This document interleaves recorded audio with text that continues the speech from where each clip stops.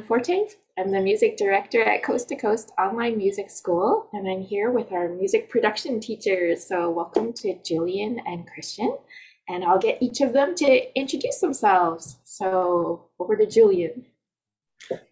Hi, uh, I am uh, a classical composer, classically trained, uh, and I also love uh, producing music of all kinds. Uh, but I mostly uh, work right now in more classical and like orchestral music, as well as cinematic music, such as for podcasts, TV, and film. Well, um, hello, everyone. My name is uh, Christian, and um, I'm a producer, a musician, um, a electronic music uh, specialist uh, somehow. Um, I started my career as a guitar player uh, for many, many years, and then uh, before I started producing, and I really fall in love with the um, with the aspect with many aspects of the music production after being uh, a guitar player for many many many years um, and I specialize like I said in electronic music mostly and many in other genres in music in, in general no Wonderful.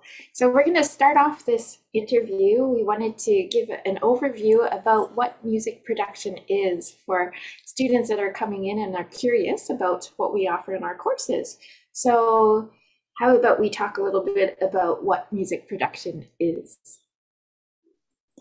Um, sure. Um, I think uh, a music production um, it's about uh, the construction on of the many disciplines and layers of music in general.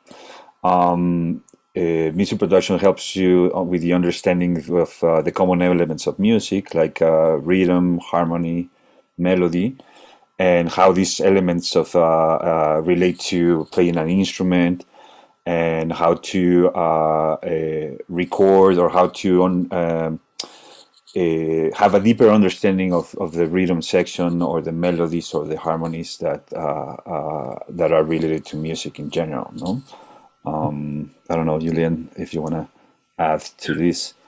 Yeah, I think uh, those are all really, really great points. In addition to uh, rhythm, harmony, and melody uh, that we learn a lot uh, even with traditional instruments, we also explore uh, sort of uh, the type of sound uh, or sort of the uh, the color of the sound, if you will, uh, called like a timbre. As well, we also use music production to talk about the practice of creating new types of sounds, such as using sound synthesis. yeah yeah and, and, understanding a little bit of the signal flow how the, uh, how software and uh, hardware work uh, together for to be able to for to uh, to produce your your beats or your uh, or your music in, in general no? Great. So here at the school we offer lessons privately, and we also are going to be organizing group classes for music production. So, say so somebody is a beginner, what kind of things are they going to learn in their classes? So, uh, the first things we usually teach uh, in private lessons uh, for music production uh, the first things are usually uh, signal flow, uh, like Christian was just mentioning. Uh, and that's sort of how all of the different music production tools sort of work together. Uh, the second thing is how to make beats, because everybody loves making beats. It's really fun. and it's really personally rewarding. and then the next thing we do is sort of a little bit of how to mix your beats, which in another way is uh, sort of uh, how to make your beats sound great. Okay, so maybe Christian, you could answer this next question is somebody who's just starting out, what kind of equipment do they need? A personal, um, I think the most important tools that you're going to need uh, is basically a personal or desktop computer. This could be a Windows or Mac computer. Um, also, actually, iPhones, tablets, or Androids are good tools for you to develop your ideas.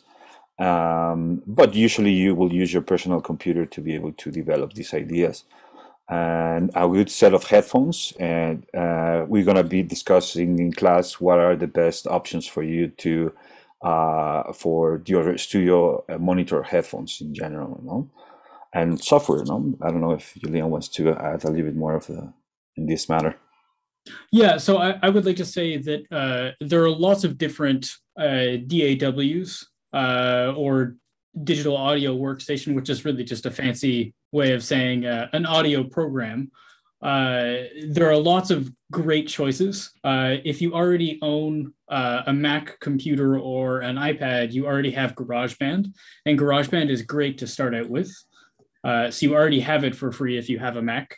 Uh, there are lots of other options such as Ableton, Logic Pro, uh, Reaper, uh, Pro Tools, uh, and, and there are dozens more. Uh, ultimately, whatever you have uh, is already great, but if you don't have one yet, we can certainly help you find the right one for you.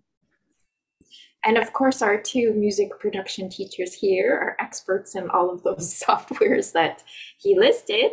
And so you touched a little bit, Julian, on how much it costs. Like if you wanted to do something free, you can definitely start with GarageBand. How much do some of those other software programs cost?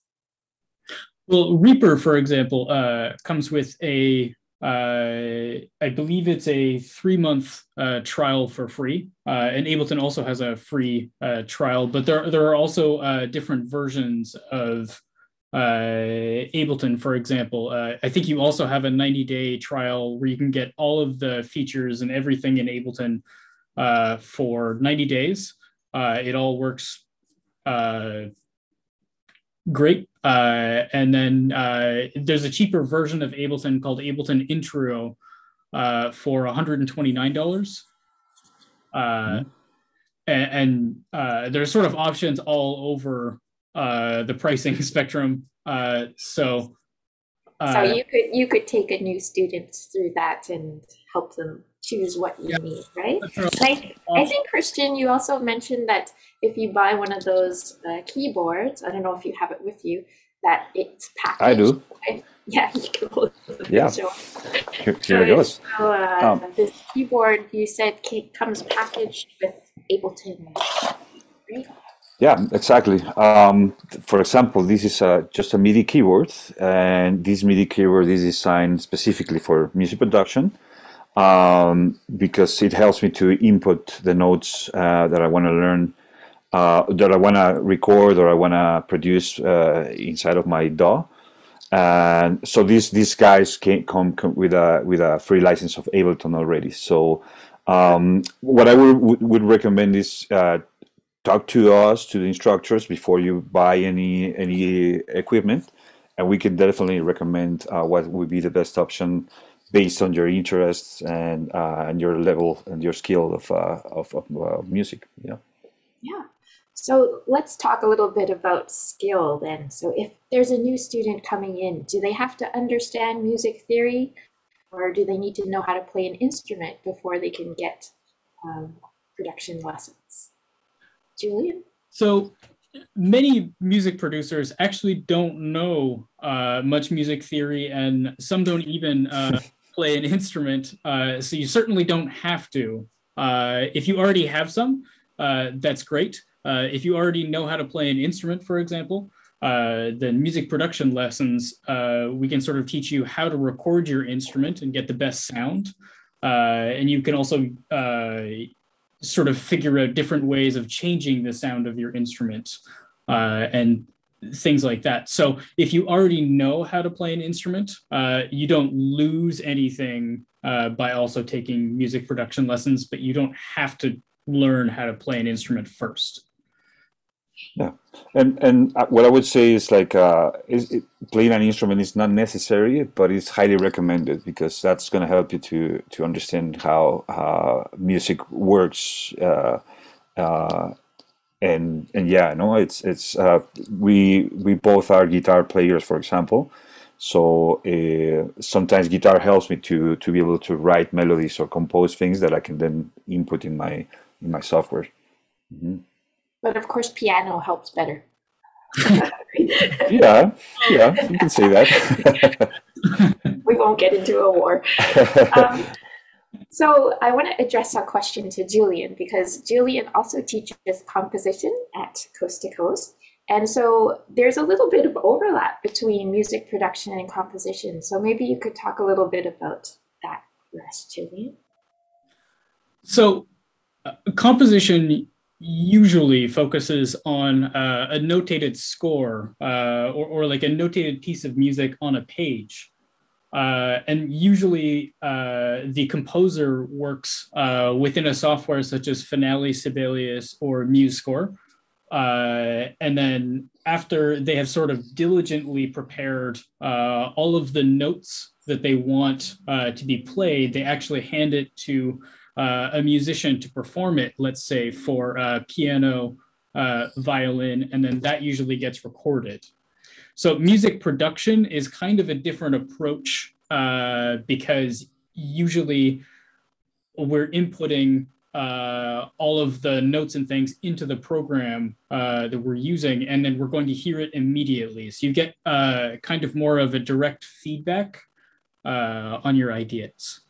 Uh, but otherwise, nearly all of the skills sort of transfer from one to another. Mm-hmm. Great, thanks. Okay, so I'm talking from the point of a point of view of a student, and always one thing that's really important to them is how much homework will I be expected to do every week?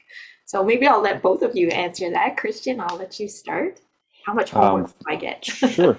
Um, well, I think we, we, we, had to we had to think about um, as your computer as being um, an instrument, a musical instrument as well, a very, very, very powerful musical instrument. Um, uh, so uh, the more you practice, uh, the better you get at it, and also uh, uh, coming up with your own workflow. We all have different learning skills, so uh, we try to orient our homework or to whatever is your level or your skill of understanding of music and music production. So we can we can tailor more to whatever is specifically that's going to work for you in general no? Mm-hmm. julian did you have anything to add? Yeah i'd like to uh, uh, sort of just to to sort of reiterate what christian said more or less. Uh, another way of thinking it is that uh, we like to customize the assignments we give you uh, and and so the homework that you're doing uh, will often feel more uh, more like fun that you get to write uh, music because we're sort of figuring out what it is that you want to do. If you want to produce more beats, uh, we'll ask you, let's say, to spend maybe 15 minutes a day uh, producing a new beat every day for the week, mm-hmm. something like that. Yeah, they, they daily practice goes goes far. It's if you spend a little bit of time every day, it's it's it's uh, uh you get your muscles going. You know, your you, uh, your creative muscles going, and it's better to to spend a little bit of time every day than just spend one uh or two hours one day of the week, so you can uh improve on your workflow. No. So you try to build the habit of exactly, exactly. Yeah, and, and uh, the the more you practice, the better you get at it. Just like any other instrument. Absolutely. Yeah. You get out what you put in, right? yep. Awesome. So I think uh, the final thing that I want to touch on is what exactly can we do with music production after we're taking some classes? Yeah, um, I, th- I, think there are like um, there are many jobs in the music industry, um, uh, like producing beats, recording, uh, producing other artists, mixing and mastering. So we usually uh, the music producer, the role of the music producer, it's a lot of the times behind the scene, right? We're not we're not the faces of the uh, of the music that is released usually. Um, but we we we wear many hats where we can help artists to uh, to improve their music, uh, and sometimes even to release their music or manage artists. So so uh, that's that's what I love about music production. That gives me a deeper understanding of all the whole music industry in general. No. Mm-hmm. Yeah, and, and I think uh, it helps us sort of uh, listen and understand music on a deeper level as well. Uh, a music producer often uh, will have listened to uh, a song uh, on the radio or anything, uh, wherever they're hearing music, and we can already sort of get a little bit more out of the listening experience because we can say, oh, that's this instrument, or oh, this was made in this way. Uh, but we also uh, hear lots of music every day uh, in movies, TV shows, uh, on podcasts, on the radio, uh, and music producers are making all of this music. so those are all jobs for music producers, and you can do that if you take music production lessons. One, one thing that I wanted to mention over there is like we can we can um, we can help you also to to to I have I have helped students in the in the past to be able to pursue or to um, uh, to get into college or university degrees, uh, specific in, in music. Uh, uh, so we we can help you to develop these skills to be able to apply for for other uh, uh, more um, a higher education degrees and stuff like that, in, based in music. No.